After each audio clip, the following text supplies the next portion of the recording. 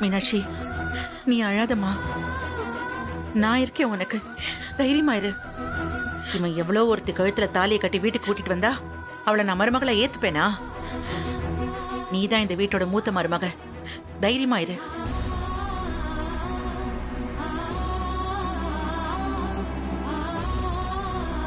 ஆனா அண்ணே என்ன இருந்தாலும் அன்னைக்கு நீங்க துரோகம் பண்ணிருக்கூடாது நம்ம குடும்பத்துக்கும் ஒரு மரியாதை கௌரவம் இருக்கு.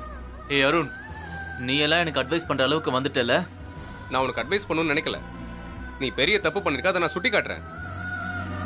யார் தப்பு பண்ணாலும் யார் வேணாலும் கேட்கலாண்ணே அதுக்கு வயசு வித்தியாசம் எல்லாம் தேவையில்ல. அண்ணிய பாருண்ணே இப்படி பண்ணிட்டு வந்து நிக்கிறியா? உனக்கு மனசாட்சியே இல்லையா? முதல்ல நிறுத்துறியா? என்ன பெரிய மாப்பிள ஏன் மாப்பிளைய பார்த்து நீ எல்லாம் அட்வைஸ் பண்ற அளவுக்கு வந்துட்டியான்னு கேக்குறீங்க? அவரு இப்ப உங்களுக்கு அட்வைஸ் பண்ற இடத்துல இருக்காரு. உங்கள மாதிரி தப்பு செஞ்சுட்டு வந்து நிக்கல. அருண் அட்வைஸ் பண்றதுல என்னடா தப்பு? நம்ம குடும்பத்துக்குன்னு ஒரு மரியாதை கௌரவம் இருக்குல்ல? நீ இப்ப பண்ணிட்டு வந்திருக்கிற இந்த காரியம் வெளியில தெரிஞ்சா நம்ம குடும்ப மான மரியாதை எல்லாம் என்ன ஆகும்? அத கொஞ்சமாவது நினைச்சு பாத்தியா நீ?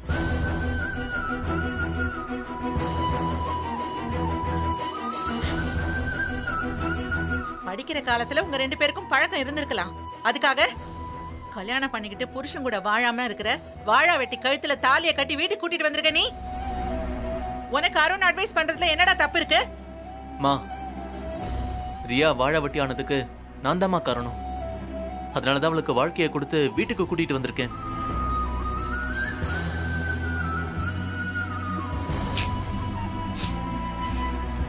என்ன பெரிய மாப்பிள நீங்க பேசுறத பார்த்தா நீங்க கூட்டிக்கிட்டு வந்திருக்கிற இந்த பொண்ணுதான் இந்த வீட்டோட மூத்த மருமகனே சொல்லுவீங்க போல இருக்கே.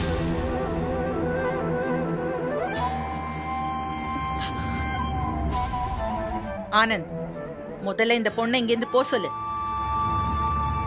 இவ என்ன நம்பி வந்திருக்காமா? நான் எப்படி போக சொல்ல முடியும்? அப்போ அந்த பொண்ணு இங்கதான் இருப்பாளா? கோவில்ல வச்சு தாலி கட்டி கூட்டிட்டு வந்திருக்க. நான் இருக்கிற இடத்துல தானே அவளும் இருப்பா?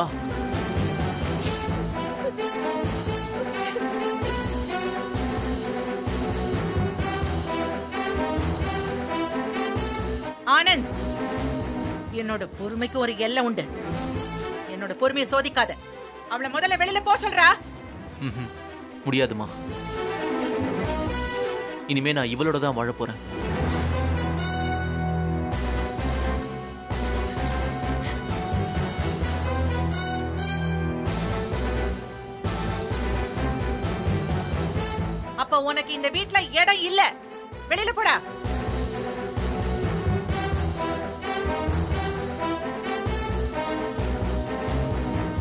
உனக்கும் இந்த வீட்டுக்கும் இனிமே எந்த சம்பந்தமும் கிடையாது.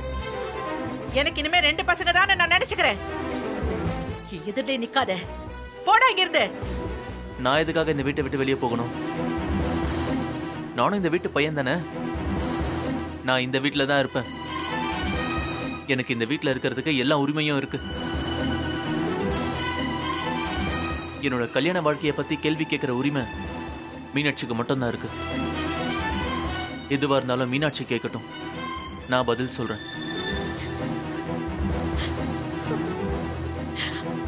மீனாட்சியை நான் தான் இந்த வீட்டுக்கு மருமகளா கூட்டிட்டு வந்தேன். அவளை எப்படி பாத்துக்கணும்னு எனக்கு தெரியும். அவசாரமா நான் சொல்றேன்ல. நீ முதல்ல இந்த வீட்டை விட்டு வெளியில போடா. மா. கார்த்தி நீ அமைதியா இருப்பா. இதுக்கு மேல இவன் இந்த வீட்ல இருக்க கூடாது வெளியில போடா. நான் வெளியே போகணும் அவ்வளவுதானே? ம் சரி நான் போறேன். எனக்கு சேர வேண்டிய சொத்தை மட்டும் பிரிச்சு கொடுங்க. நான் போறேன். அண்ணா.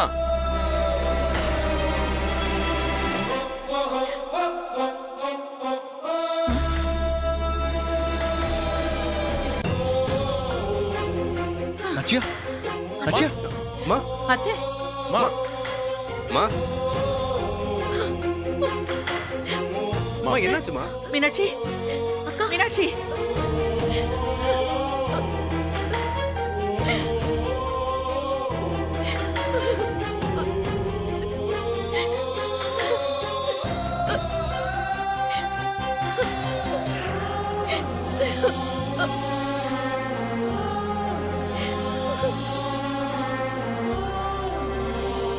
என் வயிற்றுல தப்பா வந்து பிறந்துட்டடா நீ.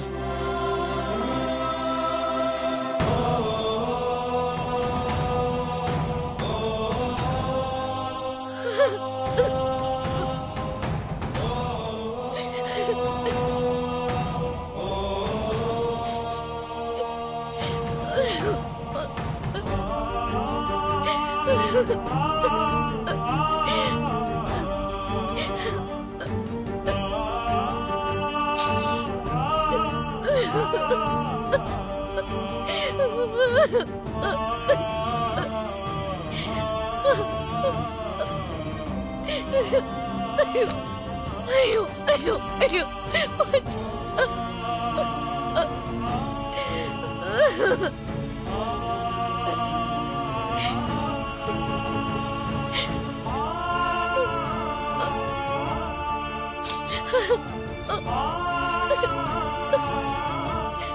ரியா நீ இங்கே இரு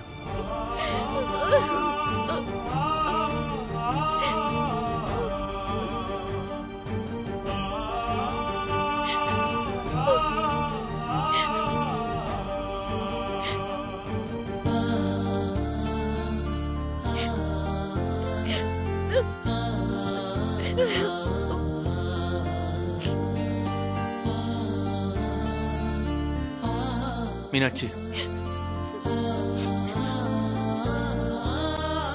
மீனாட்சி.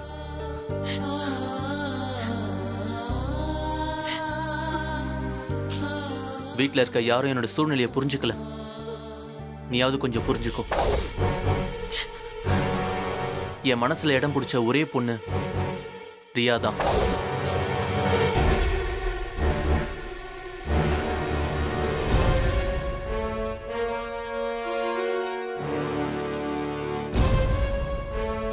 இப்ப இருக்கிற தைரியம் எனக்கு அப்போ இல்ல.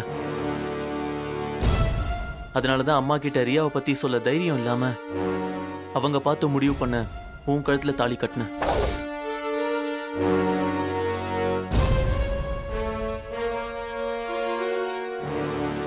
கல்யாணமாகி இத்தனை வருஷத்துல நான் உன்னை மனப்பூர்வமா இன்னும் மனைவியா ஏத்துக்கல. ஆனா பொறுப்பான கணவனா என்னோட கடமைகளை நான் சரியா தான் நிறைவேற்றி இருக்கேன்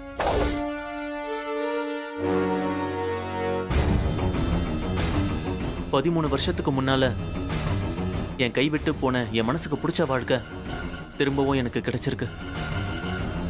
அதை என்னால் எப்படி விட்டு கொடுக்க முடியும்?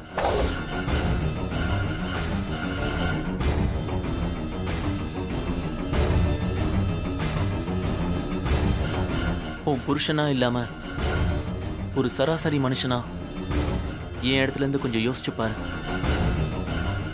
நான் எடுத்த முடிவு சரின்னு உனக்கு புரியும். அடச்சி வாய மூடுங்க.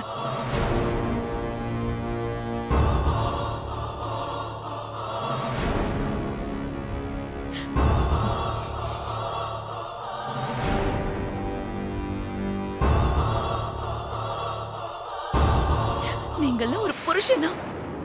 முதல்ல நீங்க மனுஷனே கிடையாது.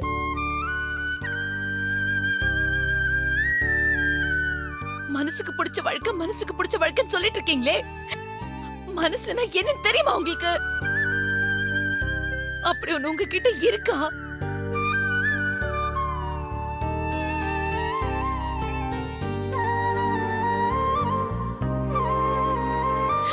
பொண்ணுங்க மனசு கடலை விட ஆழமானதுன்னு சொல்லுவாங்க. ஆனா அது மலரை விட மென்மையானது. சின்ன கீரல் கூட விடாம பத்திரமா பாத்துக்கணும் ஆனா நீங்க குத்தி கிழிச்சு கசக்கி வீசிட்டு என்னமோ உங்களுக்கு மட்டும் தான் மனசு இருக்கிற மாதிரி பேசிட்டு இருக்கீங்க. இந்த பத்து வருஷமா எத்தனை விரதம் இருந்திருப்பேன் எத்தனை கோயிலுக்கு போய் வேண்டியிருப்பேன்? எல்லாம் எதுக்காக எனக்காகவா? நீங்க நல்லா இருக்கணும். இந்த குடும்பம் நல்லா இருக்கணும் தானே பண்ண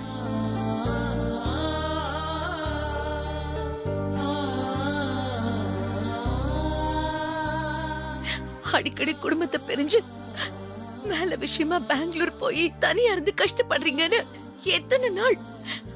உங்களை நினைச்சு நான் வேதனைப்பட்டிருக்கேன் தெரியுமா? தூங்காம இருந்திருக்கேன் தெரியுமா?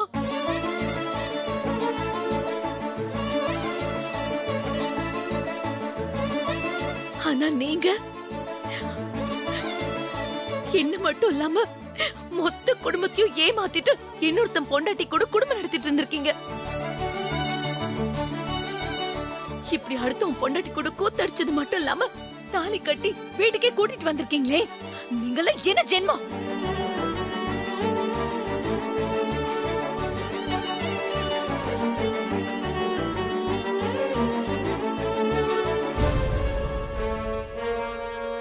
அப்பா அம்மா தம்பிங்க தம்பி பொண்டாட்டிங்க எல்லாரும் என்ன நினைப்பாங்க? எப்படி மதிப்பாங்க? குடும்பம் கௌரவம் மானம் மரியாதை இத பத்தி எல்லாம் கொஞ்சம் கூட யோசிக்காம இப்படி நடந்துக்க உங்களுக்கு எப்படி மனசு வந்துச்சு?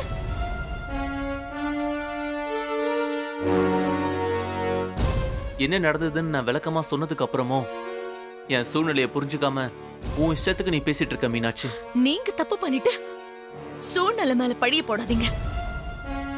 இதே உங்க இடத்துல நான் இருந்து நீங்க ஒருத்தி கூட குடும்பம் நடத்தி கல்யாணம் பண்ணி கூட்டிட்டு வந்த மாதிரி நான் ஒருத்தனை கல்யாணம் பண்ணி கூட்டிட்டு வந்து ஏன் சூழ்நிலையை புரிஞ்சுக்கோன்னு சொன்னா நீங்க சும்மா இருப்பீங்களா? மீனாட்சி.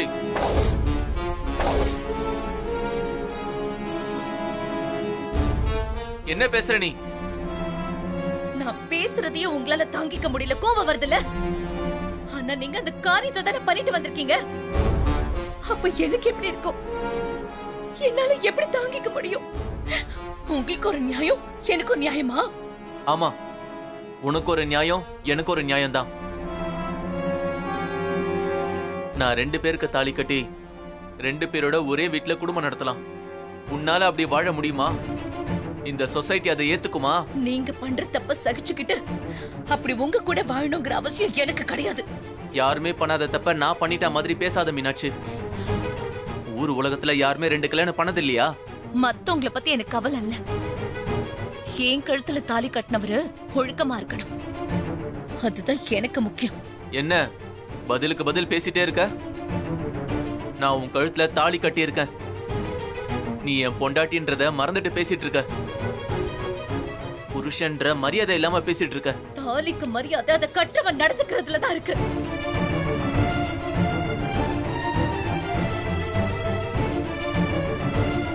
உங்களுக்கே மரியாதை இல்லாத போது நீங்க கட்ட தாலிக்கு மரியாதை எப்படி கிடைக்கும்? நீங்க விருப்பப்பட்டு என் கழுத்துல தாலி கட்டலையே.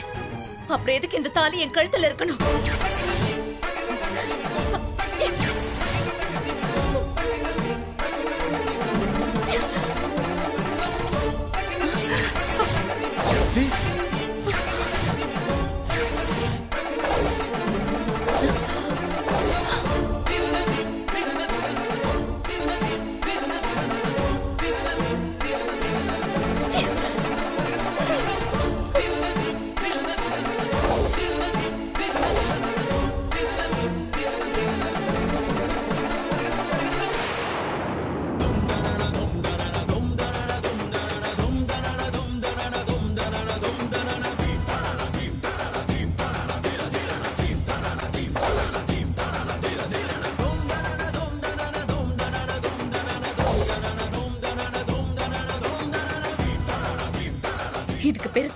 கிடையாது.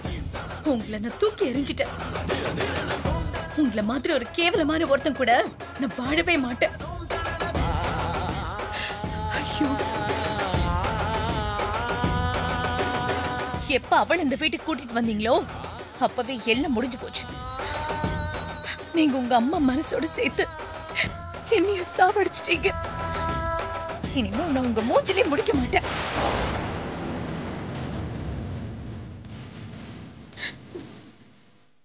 எப்போ நீ தாலிய கழட்டி போட்டியோ அப்போவே உனக்கும் எனக்குமான உறவு முறிஞ்சு போச்சு. போயிடு. வீட்டை விட்டு வெளியே போயிடு.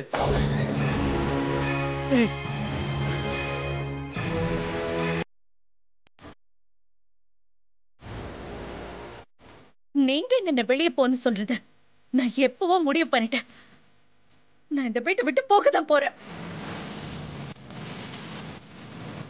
இனி ஒரு நிமிஷம் கூட நான் உங்க கூட இருக்க மாட்டேன். அதனாலதான் தாலியை கழட்டி எரிஞ்சேன். அக்கா. அக்கா அக்கா அக்கா வேணாங்கக்கா போகாதீங்க அக்கா. விடுதி சொன்னா கேளுங்க விடுதி ப்ளீஸ் தீபா போய் கூட்டிட்டு வாமா. அக்கா நில்லுங்கக்கா. மீனாட்சி அக்கா.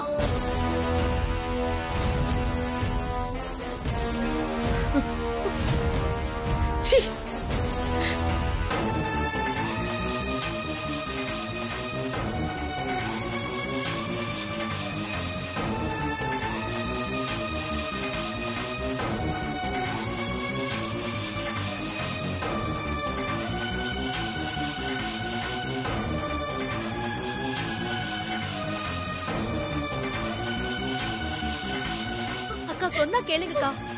அக்கா. அக்கா. அக்கா நில்லுங்கக்கா. சொன்னா கேளுங்கக்கா. தயவு செஞ்சு போகாதீங்க. அக்கா. அக்கா. அக்கா அக்கா. நில்லுங்கக்கா. போகாதீங்கக்கா. ப்ளீஸ்க்கா அக்கா. போகாதீங்கக்கா. திரும்ப வீட்டுல வாங்கக்கா. ப்ளீஸ் ப்ளீஸ் அக்கா அக்கா வந்துருங்கக்கா. ப்ளீஸ் அக்கா. அக்கா நில்லுங்கக்கா. ப்ளீஸ்க்கா அக்கா. போகாதீங்கக்கா. ப்ளீஸ் என்ன விடு தீபா ஐயோ ஐயோ ஐயோ. அக்கா என்ன விடு தீபா விடு. இனிமே எப்படி என்னால இந்த வீட்ல இருக்க முடியும்? என்ன தடுக்காத தீபா நான் போயிடுறேன் ப்ளீஸ் அக்கா அக்கா வேணாம்க்கா. இங்க பாருங்க இப்படி கழுத்துல தாலி இல்லாம நீங்க உங்க வீட்டுக்கு போய் உங்க அப்பா அம்மா முன்னாடி நின்னா அவங்களுக்கு தூக்கி வாரி போட்டுருங்கக்கா. ஆனந்த மாமாவுக்கு ஏதோ நடக்க கூடாதது நடந்துருச்சுன்னு உங்களை கத்திக்கிட்டு ஒப்பாரி வைக்க ஆரம்பிச்சிருவாங்கக்கா. ரொம்ப மனசு உடைஞ்சு போயிடுவாங்கக்கா. நான் தான் அவரை வேண்டான்னு சொல்லிட்டு தாலியை கழட்டி போட்டு வந்துட்டல்ல இனி அவர் இருந்தாலும் ஒண்ணுதான் இல்லனாலும் ஒண்ணுதான்.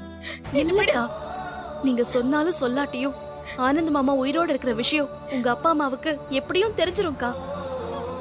ஒரு ஃபோன் பண்ண தெரியாம போயிடுமா? அதுக்கப்புறம் அவங்க என்னக்கா நினைப்பாங்க? அத்தை எதானே தப்பா நினைப்பாங்க? அதுக்காக எங்க வீட்டுக்கு போகாம அங்க வந்து என்கிட்ட இருந்து அவரை தட்டி பறிச்சு அந்த ரியா கூட சேர்ந்து கை கோத்து குடும்பம் நடத்த சொல்றியா? என்னக்கா எப்படிக்கா நான் அப்படி சொல்லுவேன்? அவருக்காக நான் எப்படி எல்லாம் கஷ்டப்பட்டேன் தெரியுமா? ஒரு நாள் கூட எனக்கு நான் எந்த வாழ்க்கையும் வாழல. கோவில் கோலம்னு எங்க போனாலும் அவர் நல்லா இருக்கணும் வேண்டிக்கிட்டேன்.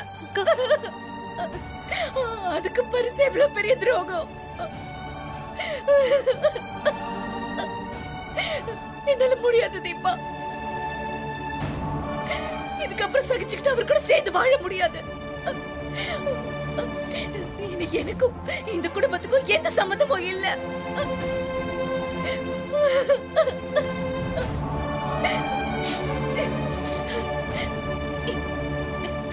உனக்கும் கார்த்திக்கும் ரியா விஷயம் தெரிஞ்சிருந்தோம். என்கிட்ட சொல்லாம மறைச்சிட்டீங்கல்ல? எப்படி தீபா உங்க ரெண்டு பேருக்கும் மனசு வந்துச்சு? காலையில நாம ரெண்டு பேரும் கோவிலுக்கு போறப்பதான் நான் அவங்கள பார்த்தேன். உங்களை முதல்ல வீட்டுக்கு அனுப்பி வச்சுட்டு என் புருஷனை வர வச்சு நான் அங்கே கூட்டிட்டு போய் ஆ, நாங்க ரெண்டு பேரும் தப்பு நடக்காம தடுக்கிறதுக்கு எவ்வளவோ ட்ரை பண்ணி பார்த்தோம். ஆனா ஆனந்த் மாமா கேட்கவே இல்லை. கார்த்திக் சொல்லியும் கேட்கலன்னா? அப்ப அவர் யார் வார்த்தை தான் கேட்டு மதிச்சு நடந்திருக்காரு? பெத்தவங்க தம்பி தம்பி பொண்டாட்டின்னு இப்படி யாரையும் மதிக்காதவர் கூட நான் எப்படி வாழ முடியும்? முடியும்க்கா. அந்த ரியா பணத்தாசை பிடிச்ச ஒரு தப்பான பொண்ணுன்னு ஆனந்த் மாமாவுக்கு நிரூபிச்சு அவங்களோட உறவை அறுத்த விட்டுட்டு உங்களையும் ஆனந்த் மாமாவையும் எப்படியாச்சும் சேர்த்து வைக்கலான்னு அவர் சொன்னாருக்கா? இல்ல தீபா இல்ல. மன்னிக்க முடியாத துரோகத்தை பண்ணவரோட சேர்ந்து இனி என்னால குடும்பம் நடத்த முடியாது தீபா. என்ன விட்டு நான் என் அம்மா வீட்டுக்கே போறேன். வேணாக்கா உங்க எதிர்காலத்தை நீங்க நினைச்சு பாருங்க. நீங்க உங்க வீட்டுக்கு போனா கூட உங்க அப்பா அம்மா உங்களை நினைச்சு வேதனைப்படுவாங்க.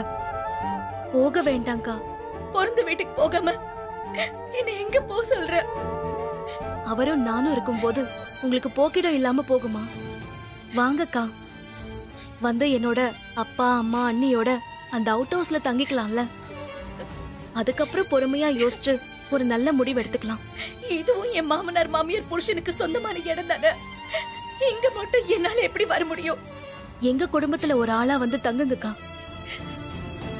எனக்கு அண்ணன் இருக்காரு. அக்கா இல்லல்ல. அந்த குறைய நீங்க தீர்த்து வைங்க. வாங்கக்கா. இல்ல தீபா. நான் என்னைக்கும் உனக்கு அக்காவா இருப்பேன். ஆனா அதுக்காக நாங்க வர சொல்லாத. நீங்க வந்தாதான் நான் உங்களை அக்கான்னு ஏத்துப்பேன். வாங்கக்கா. வாங்கக்கா. போலாம்.